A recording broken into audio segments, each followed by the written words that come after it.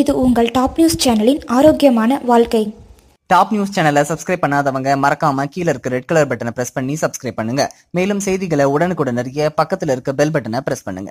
விழாக்களின் உற்சாகத்தின் ஒரு பகுதியாக இந்த தோரணங்கள் கட்டப்படுவதாக தோன்றினாலும் அதன் மெய் நோக்கம் இந்த கொண்டாட்டங்களில் யாராவது ஒருவருக்கு ஏற்படும் சுவாச பாதிப்புகள் மற்றவர்களுக்கு பரவாமல் தடுக்கவே அதிக மக்கள் கூடும் அவ்விடங்களில் மாவிளை தோரணங்கள் கட்டி வைக்கப்படுகின்றது. மாவிளைகள் சிறந்த கிருமி நாசினியாகவும் வியாதி எதிர்ப்பு சக்தி மிக்க மூலிகையாகவும் பயன் தருகிறது. மாவிளைகள் பொதுவாக சிறுநீரை அதிக அளவில் வெளியேற்றக்கூடியது. வீக்கங்கள் கட்டிகள் போன்றவற்றை கரைக்க வல்லது வாய்ப்புண் வயிற்றுப்புண் போன்றவற்றை போக்க வல்லது மாவிளைகளில் புரதம் தாதுக்கள் மற்றும் விட்டமின் ஏ பி மற்றும் சி ஆகியவை நிறைந்துள்ளது. சிறந்த கிருமி நாசினி மற்றும் வியாதி எதிர்ப்பு சக்தி மிக்கது.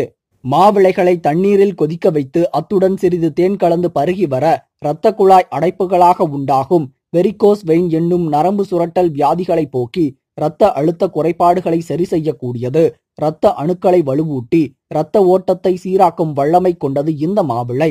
மேலும் உடலில் தேங்கியிருக்கும் நச்சுத்தன்மையை வெளியேற்றி மனிதர்களின் பரம்பரை தன்மையை செயல்திறனை பாதிக்கும் உடலின் முக்கிய அணுக்களான டிஎன்ஏ தொகுப்பை இந்த மாவிளை தேநீர் பாதிப்புகளில் இருந்து காக்கும் திறன் கொண்டது. இரத்த அழுத்த பாதிப்புகள் இல்லாவிட்டாலும் மாவிளை தேநீரை அவ்வப்போது பருகி வர உடலின் நச்சுக்கள் வெளியேற்றி உடல் நலமாகும். மன ரீதியான பாதிப்புகளுக்கு சிறந்த நிவாரணம் அளிக்கிறது இந்த மாவிளை. சிறிது மாவிளைகளை குளிக்கும் நீரில் சற்று நேரம் ஊற வைத்து பின் குளித்து வர உடலின் சோர்வு மற்றும் மனவாட்டங்களை நீக்கி புத்துணர்ச்சி அளிக்கும். இது போன்ற மருத்துவ குறிப்புகளை மேலும் அறிந்து கொள்ள எங்கள் சேனலை சப்ஸ்கிரைப் செய்யுங்கள். இந்த வீடியோ பற்றிய உங்கள் கருத்துக்களை கமெண்ட் பாக்ஸில் தெரிவியுங்கள். நன்றி வணக்கம்.